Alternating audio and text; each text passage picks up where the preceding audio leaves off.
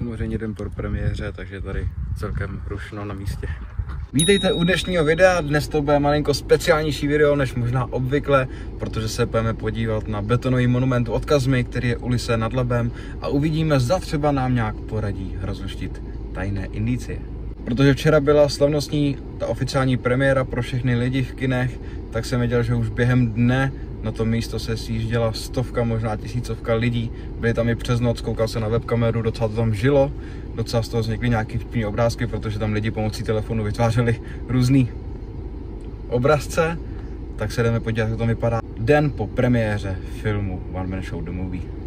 Jinak samozřejmě ten, kdo ten film viděl, tak samozřejmě ví, jakým způsobem se asi dostat k nějakým prvním nápovědám. Nebudu tady úplně prozazovat asi o co jde, protože pokud jste ten film ještě neviděli, tak abyste nepřišli o ten zážitek.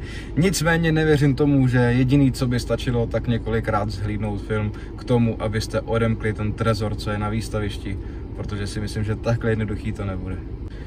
Protože všichni známe Kazmu a cesta k úspěchu nebo k cíli nevede pouze přes nějaký jeden bod, ale určitě těch bodů bude několik, aby to byla sranda, aby to bylo delší, aby se to táhlo, bylo to zajímavý a po případě se z toho dalo zase udělat nějaký film, po případě nějaký díl. Ten samotný film za mě super, já jsem se toho lehce bál, protože samozřejmě jak byla ta slavnostní předpremiéra, tak už na to vzniklo spoustu recenzí, spoustu videí a všichni z toho byli takový, neříkám, že zklamaný, ale možná čekali něco malinko víc a já už jsem si v tu chvíli říkal ne, protože já jsem se na to hrozně moc těšil už asi ty dva měsíce, co se to promovalo, že to bude, tak jsem se na to hrozně těšil, říkal jsem si wow, to bude super pecka, těšil jsem se na to a pak jsem vlastně byl takový lehce zklamaný z těch recenzí, protože neříkám vyloženě, že to lidi hitovali, ale byli k tomu takový skeptický, tak jsem si říkal sakra, sakra, to nebude možná takový, jako jsem čekal, nebo jako jsem si přál.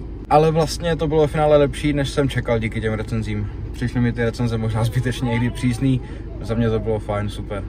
Samozřejmě tam byly nějaký pasáže, které mi možná lehce nehrály a občas mi to přišlo zbytečně sebezkrášlující, ale za mě to bylo fajn. Prostě teď už je jasný ten film, proč to muselo být hraný, proč asi to nebylo tak, jako jsme byli zvyklí u těch předchozích dílů, kde víceméně zase bavíme se jenom v vozukách o nějaký realitě, co je, co je real, co ne, ale tady to jasně dává smysl, proč je to přelčený za to, že to je film, protože to, co se tam stalo, tak asi by opravdu, kdyby měla být natočená ta pravá realita, jakým způsobem se dostali k těm penězům, tak by z toho mohl být asi ten malér.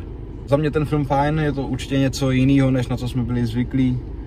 Bavilo mě to, mělo to děj, mělo to emoce, byl to rychlý, krásný střih, skvělý barvy, takže mě se to hrozně moc líbilo. Pokud máte v plánu ještě na to jít a nebyli jste, tak vám to můžu jenom vřele doporučit a i za ten suvenýr to stojí, co si odnesete. No a samozřejmě i já půjdu zkusit to štěstí, až můj cestu přes Prahu, teď to úplně nemám, ale zhruba příští týden přes Prahu pojedu, tak asi samozřejmě vyzkouším to štěstí, jestli náhodou zrovna já nemám tu výherní kartu, která nepotřebuje heslo k tomu, abych vyhrál.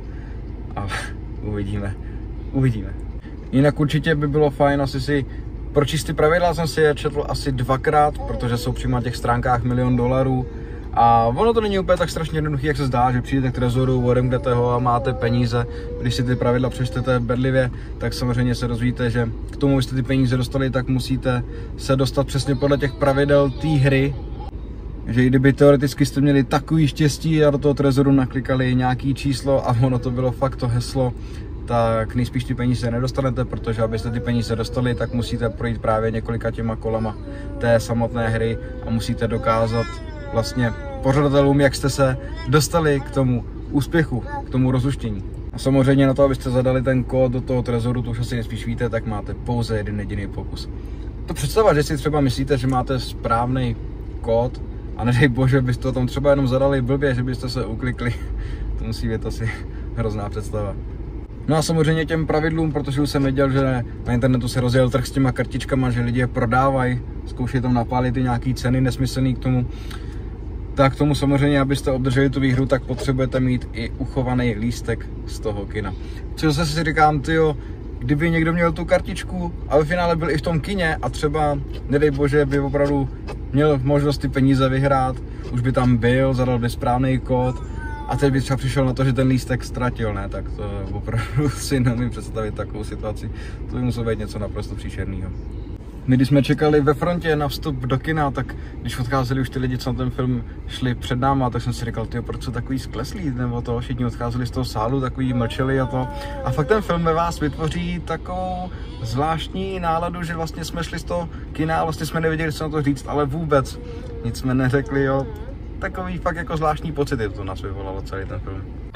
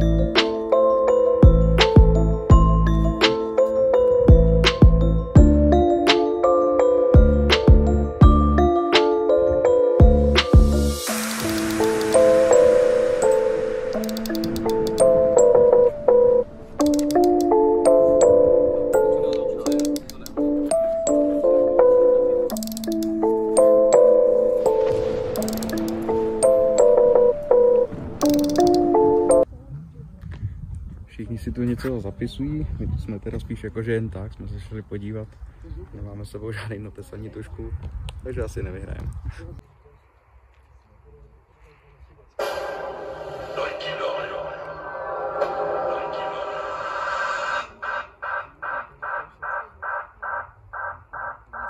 Takže tak, dejte vědět, jestli se taky zapojíte do soutěže, jestli jste viděli ten film, po případě, jak už jste daleko s nějakým rozluštěním těch šifer, já asi se upřímně znova na ten film nechystám, ale samozřejmě tu soutěž budu sledovat, budu sledovat průběh, budu sledovat, jak se bude vyvíjet a po případě třeba ještě bude šance se nějakým způsobem zapojit.